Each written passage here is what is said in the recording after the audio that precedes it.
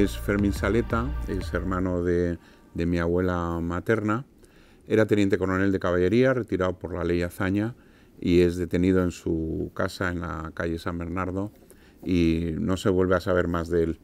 En las declaraciones juradas que hacen eh, el portero y dos vecinos después de la guerra, dicen que mm, le llevaron a la modelo y que después del incendio de la modelo, el 22 de agosto, no se volvió a saber de él, pero sí aparece en las listas de asesinados en, Paracuellos del Jarama. Estaba casado, tenía 52 años, no tenía, no tenía hijos y lo más eh, curioso de la historia es que su cuñado, el, eh, mi abuelo José María de Corral eh, era amigo de Negrín, había trabajado con Negrín, que entonces era ministro de Hacienda, había trabajado con Negrín en el laboratorio de fisiología de la residencia de estudiantes. Tuvieron una muy buena relación siempre, incluso en casa se recuerda que mantuvieron una correspondencia epistolar después de la guerra y a casa de mi abuelo llegaban las tarjetas postales con el remite de J. Negrín pero mm, sorprendentemente debían pasar la censura, nadie se daba cuenta.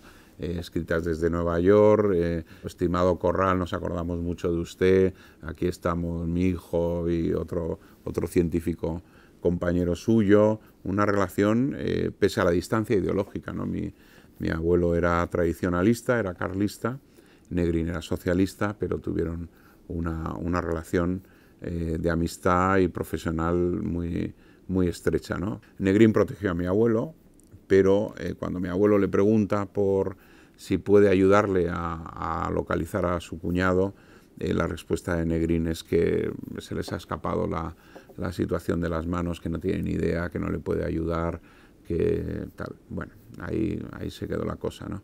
Eh, lo más curioso es que en un diario de mi tía Carmen, que era la, la hermana mayor de mi madre, eh, aparece muchas veces la esperanza de que vuelva el tío Fermín, ¿no? de que alguien había oído hablar que el tío Fermín se había ido a no sé dónde, de que lo habían llevado a no sé cuándo, a no sé, a no sé qué sitio, y es muy estremecedor, ¿no? porque no, eh, el diario empieza en enero del 37, claro, no sabía que su tío Fermín llevaba eh, por lo menos desde noviembre enterrado en una de las fosas de, comunes de, Paracuellos del Jarama. ¿no? ¿Cómo se ha recordado esto en mi familia? Mis, padres no me, no me transmitieron o no nos transmitieron eh, una sensación de rencor, de resentimiento por, mi madre, no era, era sobrina de, este teniente coronel de caballería y no nos transmitió nunca esa, cosa de no olvidéis, de que fijaros lo que le pasó al tío Fermín, eh, rencor, odio, eh, no,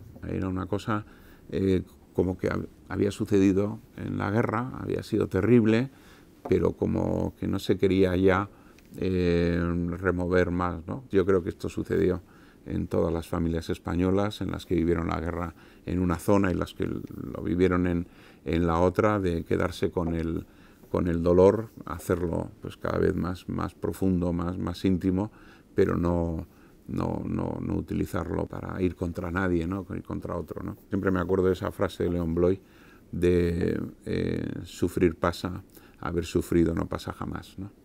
Y es verdad que a pesar de la distancia, 80 años, pues comprendes pues, a estas personas mayores que siguen buscando a su padre o que tienen ese recuerdo todavía vivo del día que fueron a buscar a su padre para, para matarlo, ¿no? pues eh, en una y otra España, pues ese recuerdo queda ahí lacerante, vivo, toda, toda la vida. ¿no? Eh, sufrir pasa, haber sufrido no pasa jamás.